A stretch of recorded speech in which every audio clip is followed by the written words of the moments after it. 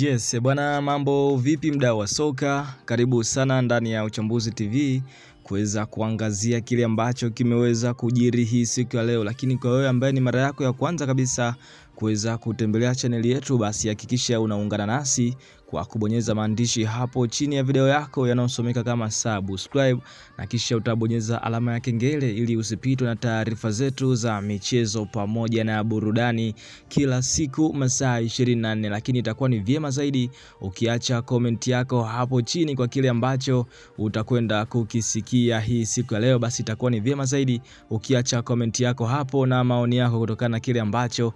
utakuwa umekisikia hii siku ya leo. Ebana, ni wananchi Dar es Salaam Young Africans, mabingwa wa kihistoria hawa mara 28 mpaka hivi sasa kwenye ligi kuu Tanzania bara. Tumeambiwa ya kwamba wana jambo lao zito sana. Najua kila shabiki wa mpira atakuwa anajiuliza yuko wapi Bernard Morrison, mbona haonekani? Ni siku nyingi mpaka hivi sasa mchezaji huyo haonekani akicheza kwenye kikosi cha wananchi Yanga, na kuna wengine ukiwauliza hapa, mara ya mwisho ni lini Morrison amemshuhudia akiwa uwanjani, basi kila mmoja ataanza kujiuliza ni lini aliwahi kumwona uh, Morrison mara ya mwisho uwanjani. Lakini taarifa rasmi kabisa zinasema ya kwamba mchezaji huyo ameweza kusimamishwa na uongozi wa Dar es Salaam Young Africans na kuweza kurudi kwao kufuatia kile kitu ambacho kinaaminika kwamba amesimamishwa kutokana na utovu wa nidhamu wa mchezaji huyo. Ni mara kwa mara mchezaji huyo amekuwa akiwa na tabia za kujirudia rudia zile za utovu wa nidhamu, lakini hivi sasa wananchi Yanga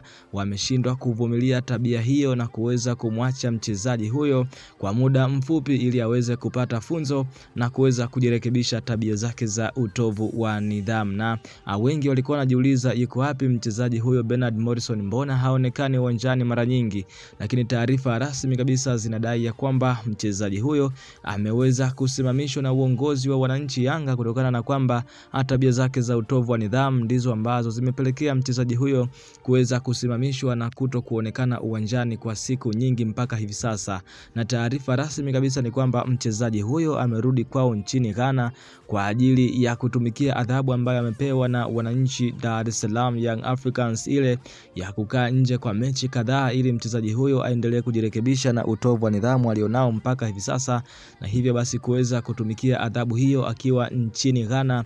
huku tukiambiwa ya kwamba huenda kuna tetesi mchezaji huyo asiweze kurejea tena ndani ya kikosi cha Yanga kwenye dirisha dogo la usajili ambalo linafunguliwa tarehe kumi na tano ya mwezi huu elfu mbili na ishirini na mbili. E bana, nini maoni yako kutokana na hiki ambacho Morrison ameendelea kukifanya na ni tabia pia za kujirudia rudia mara kwa mara? Basi utaacha komenti yako hapo, lakini kama bado hujasubscribe channel hii hakikisha unaungana nasi kwa kubonyeza maandishi hapo chini ya video yako yanayosomeka kama subscribe, na kisha utabonyeza alama ya kengele ili usipitwe na taarifa zetu za michezo pamoja na burudani kila siku masaa 24. Asante sana, endelea kusalia nasi.